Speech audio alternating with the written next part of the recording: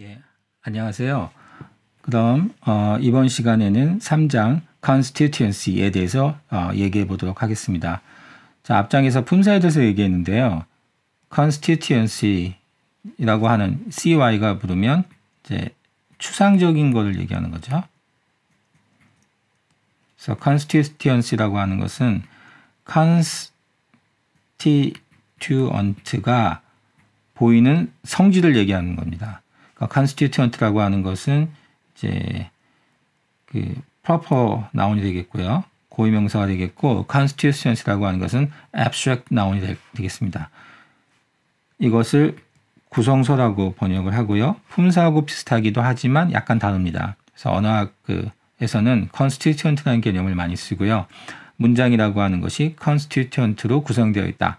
그리고 각각의 constituent 가 보이는 성질을 얘기할 때 constituency, 구성 성분성 이런 식의 얘기를 합니다.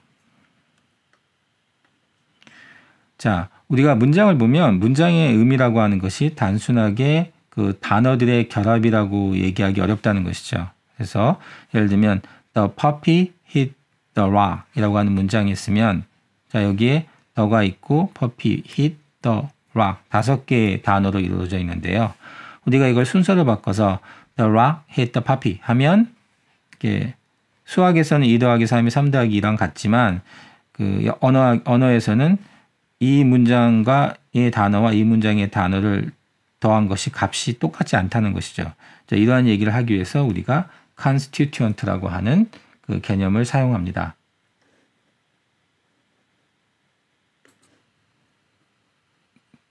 자, 우리가 이제 이런 문장을 봅시다. The elephant snorted a bowl of peanuts. The elephant snorted a bowl of peanuts. 자, 여기서 보면 우리가 이제 직관적으로 볼 때 더하고 엘리펀트는 좀 의미적으로 가깝다는 걸 알 수가 있고요. 직관적으로 볼 때, 음, 스노티드하고 피넛은 좀 멀다라는 걸 알 수 있습니다. 그래서 constituent라고 하는 게 기본적으로 의미적으로 좀 관련 있는 그 것들을 모아놓은 것입니다. 그래서 이제 구성소가 뭔가라고 정의를 해보면 구성소라고 하는 것은 하나의 단위도 움직일 수 있는 그런 단어의 세트를 얘기합니다. 단어의 세트를 얘기하니까 셋이라고 하는 것은 원소가 하나만 있어도 세트죠. 그래서 각각의 단어는 각각의 것들은 다 일종의 constituent가 되고요. 여기에서 a peanut은 하나의 단위가 되고요. 그 다음에 bowl of peanut이 하나의 단위죠. 이것을 우리는 영법에서 이 문장의 목적어라고 부릅니다. 그 다음에 the bowl of peanut은 하나의 단위죠. 이것을 영어에서 부사구라고 부르고요. The elephant도 하나의 단어죠. 그리고 전체가 하나의 센텐스로서 하나의 constituent를 형성합니다. 이런 것들이 무엇이 무엇과 하나의 constituent를 이루냐는 굉장히 이제 직관적으로 판단할 수 있는 건데 때로는 그 모호하게 어, 분명하지 않은 경우가 있습니다. 이럴 때를 대비해서 우리가 테스트를 하는데요. 그러니까 이게 티피컬하게 통사론에서 많이 언급되는 그 중요한 어, 요점인데요. constituency, test가 있습니다. 예를 들면 이제 modification을 통해서 이제 증명할 수 있는데 어떤 단어가 다른 A라고 하는 단어가 B라고 하는 단어를 수식한다라고 하면 A, B는 하나의 constituent일 가능성이 굉장히 높습니다. 그래서 I bought a red balloon 경우에 red하고 어가 벌룬 수식하죠. 그래서 이럴 경우에 a red balloon은 하나의 어, 유닛일 가능성이 높습니다. 이렇게 판단할 수 있고요. 또 다른 이제 constituency test에는 movement가 있는데 movement test를 통해서 어떤 요소들이 하나의 constituent를 이룬다는 걸 얘기할 수 있는 것이죠. 그래서 예를 들면 이제 clefting이라고 하는 거. 그러니까 이 이거 이거를 이제 학교문법에서는 이제 it that 강조 구문이라고 하는데 그런 말은 영어 없 영어에 없습니다. it that 강조 구문이 현상을 갖다가 clefting 분열이라고 이제 언어학 하는 사람들은 분열이라고 많이 이제 번역을 하는데 어 예를 들면 원래 문장은 he bought a new brand new car. He bought a, brand new car. 이런 문장이 있을 때 이 부분만을 강조하기 위해서 it was a brand new car that he bought. 이렇게 얘기할 수 있는데 그러니까 클래프팅을 통해서 쪼갤 수 있는 요소들은 일종의 constituent이다. 이런 얘기를 할 수 있고요.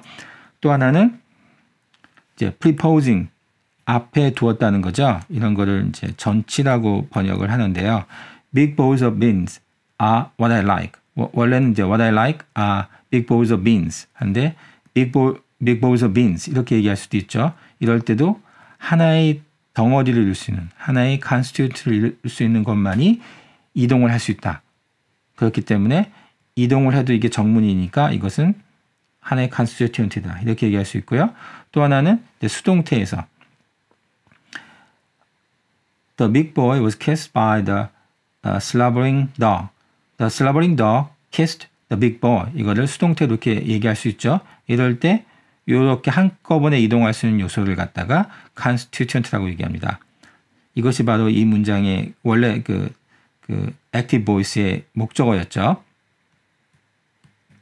만약에 이 경우에 이렇게 얘기하지 않고 Big boy was kissed the by the slobbering dog 하면 비문이 되죠. 왜냐하면 하나의 덩어리가 이동하지 않았기 때문에 이렇게 얘기할 수가 있습니다.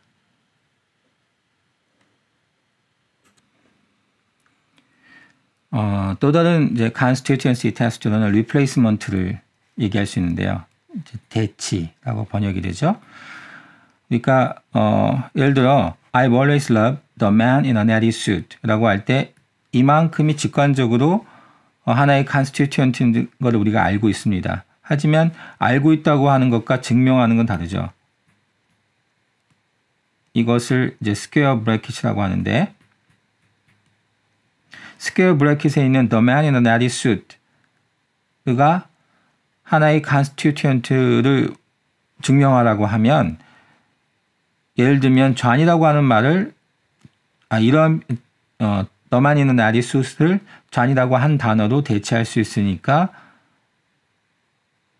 더만 있는 아리수스는 하나의 constituent이다라고 얘기할 수 있습니다. 왜냐하면 하나의 단어는 하나의 단어는 항상 constituent입니다. 그러니까 어, 어떤 긴 표현이 constituent인지 아닌지를 주려고 하면 이런 대치를 통해서 증명을 할 수 있고요. 어, 약간 유사하지만 다르게 이 replacement에는 프로폼 테스트가 있는데요. 이 프로폼은 프로나운 할 때의 그 프로입니다. 프로나운이라고 하는 것은 나운을 대신하는 거죠. 그래서 어, 우리가 이제 일반화해서 프로폼 하면 동사를 대신하는 프로버브가 있을 수 있고 에직티브가 있을 수도 있습니다. 그래서 예를 들면 I've always loved the man in a natty suit 할때 natty suit을 힘이라고 하나의 단어로 어, 대치가 가능합니다. 이러면 힘은 언제나 누구나 인정하는 하나의 단어이고 a natty suit도 하나의 constituent라고 얘기할 수 있습니다. 또 이제 두 번째 문장 Susan bought a truck with Mac wheels라고 하는 문장이 있을 때 이런 것을 뭐 Mary did too. 그러니까 Susan bought the truck. Uh, Susan bought a truck with with wheels and Mary did too. 이렇게 얘기할 때 did so, Mary did so too라고 할 때 did so라고 한 do so라고 하는 것이 이만큼 대신하는 것이죠. 그리고 do so라고 하는 것은 영어에서 VP를 대신해서 쓰일 수 있는 일종의 프로 VP에 해당하는 것입니다. 프로폼이죠. 어, 두소에 관해서는 나중에 다시 말씀을 드릴 기회가 있을 것 같습니다.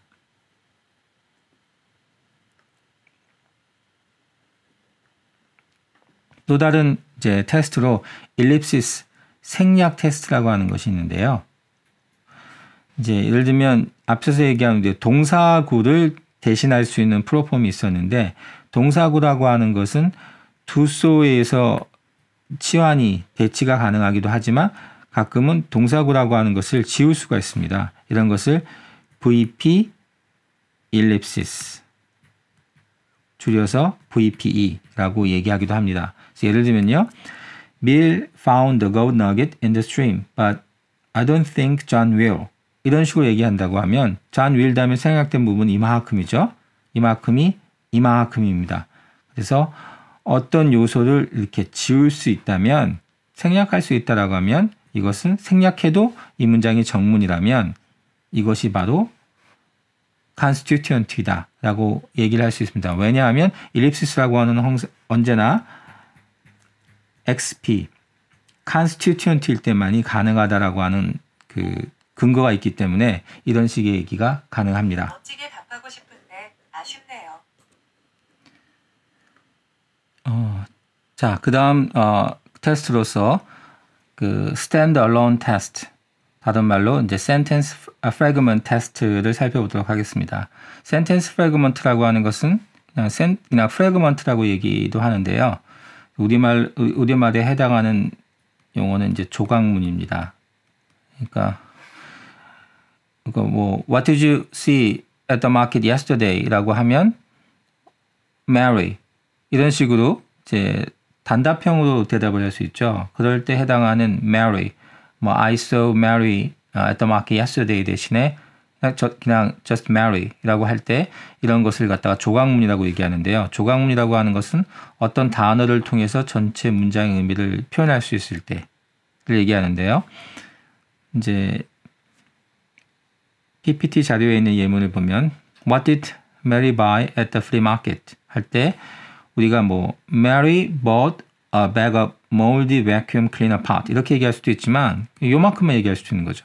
요만큼 얘기했을 때 이것이 정문이라고 하면 그때 이 정문이 가능한 건 뭐냐면 이게 이게 fragment answer이기 때문인 것이죠. 그러니까 WH 퀘스천을 물어봤을 때 fragment 대답해서 그것이 정문이라고 하면 이때 이것이 어, 하나의 constituent 라고 얘기할 수 있습니다. 그 다음 테스트로서는 이제 conjunction 테스트를 들 수 있는데요. 우리가 어떤 단어와 단어를 이제 A, A and B가 있는 거죠. A and B를 넣어서 문장을 만들었을 때 이것이 정문이면 A and B는 하나의 constituent constituent라고 얘기할 수 있습니다. 그래서 John and the man went to the store. 이 경우에 John은 하나의 단어이니까 분명하게 the man은 John과 묶여서 어, 문법성을 훼손시키지 않으니까 man도 constituent라고 얘기할 수 있습니다. 그런데 John and Very Blue went to the store. 이 경우에는 얘는 분명한 constituent인데 이 x라고 하는 요소하고 연결했을 때 비문이 되니까 이 x라고 하는 요소는 constituent가 아니라고 얘기할 수 있습니다. 자, 그런데 이 conjunction test라고 하는 것은 굉장히 조심해야 됩니다. 그 왜냐하면 특히 현대 영어에서 어 A and B라고 묶었을 때이 기본 가정이 이 conjunction 중에 이 등위 접속사 coordination은 A하고 B의 무게가 같다라고 하는 equal weight일 때만 가능한 것인데요. 예를 들면 The economy is in the doldrums as yet, but likely to bottom out. 이 문장은 정문입니다. 그런데 품사만을 보면 이 경우에는 전치사가 있으니까 in the doldrums as yet은 pp고 likely to bottom out 이것은 ap죠. 그래서 ap하고 어, pp와 ap가 묶였는데 이 문장은 정문입니다. 그러니까 어,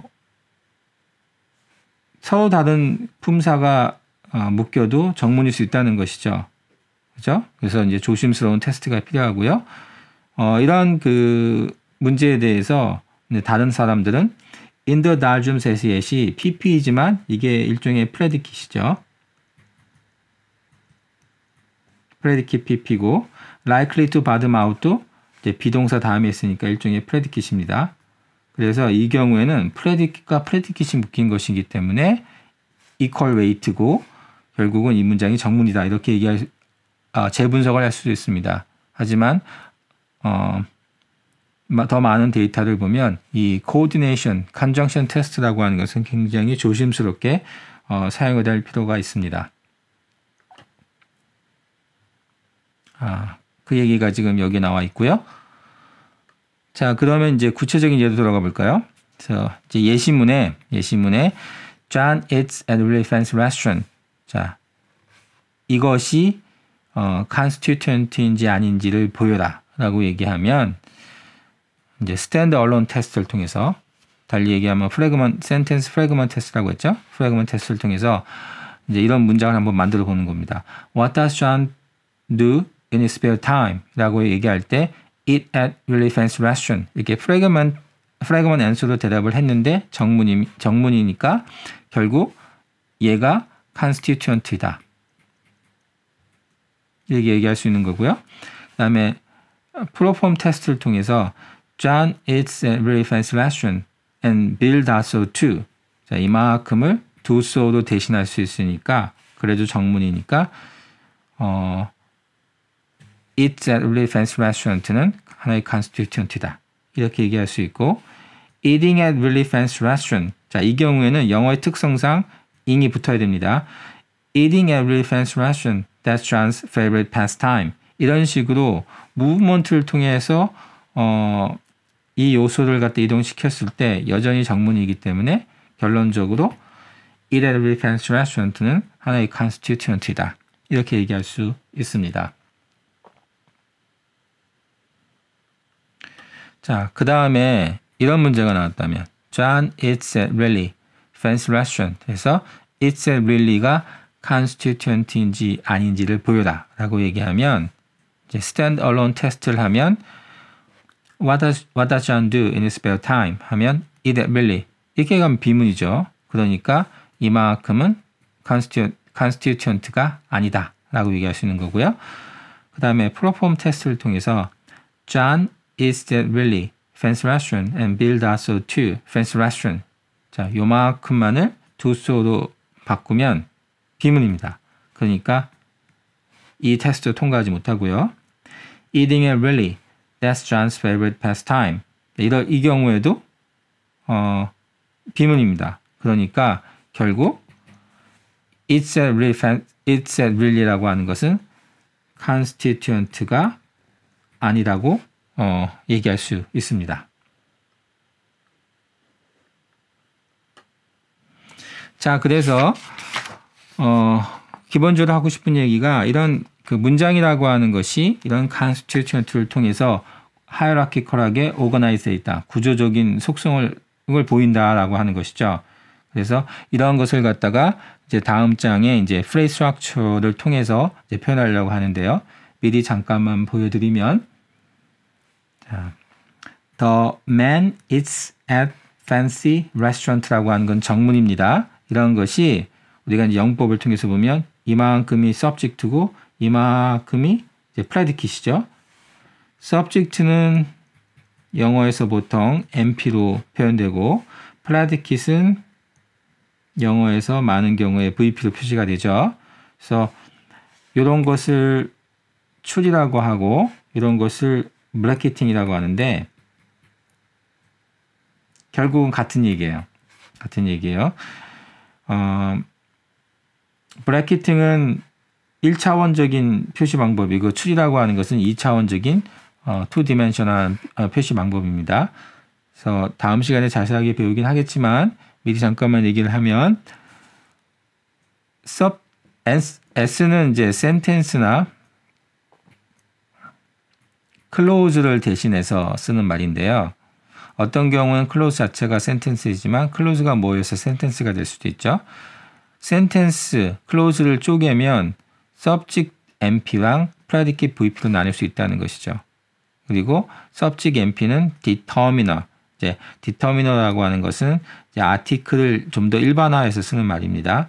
the, 그다음에 명사, the man으로 쪼갤 수가 있고 이 더에 더라고 뒤에 더라고 하는 말을 집어넣고 n에 man이라고 하는 말을 집어넣으면 the man이 되는 것이죠. 그리고 이 경우에 VP라고 하는 것은 쪼개면 동사랑 전치사고 prepositional phrase 되고요.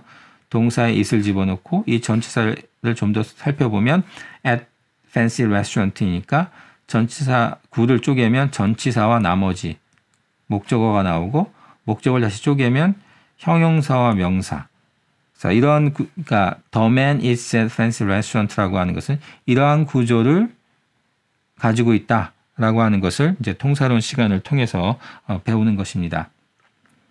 그래서 요약을 해보면요. 이 장에서는 이제 constituent가 무엇인지에 대해서 기본적으로 살, 살펴보고 이러한 constituency를 어, constituent가 보이는 속성을 여러 가지 테스트를 통해서 예를 들면 modification test, movement test, replacement test, ellipsis test, standalone test 이런 것을 통해서 얘기를 한 거고요. 조심할 것은 어떤 문장에서 어떤 문장에서 어떤 요소가 constituent인지 아닌지를 보이려고 하면 이러이러한 테스트 중에 적어도 하나 이상 혹은 more than one, two or more의 테스트를 통해서 증명을 해야 된다는 것입니다. 왜냐하면 어떤 요소가 약간 그, 그 위키드해서 이러한 테스트는 통과했지만 나머지 테스트는 통과 안 할 가능성이 있거든요. 그러니까 어, 어떤 요소가 constituent인지 아닌지를 증명하려고 하냐면 하려면 적어도 두 개 이상의 이런 테스트를 통해서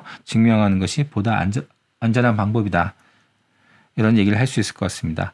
자, 그러면 이것으로서 어, 3장 constituency에 관한 강의를 모두 마치도록 하겠습니다. 감사합니다.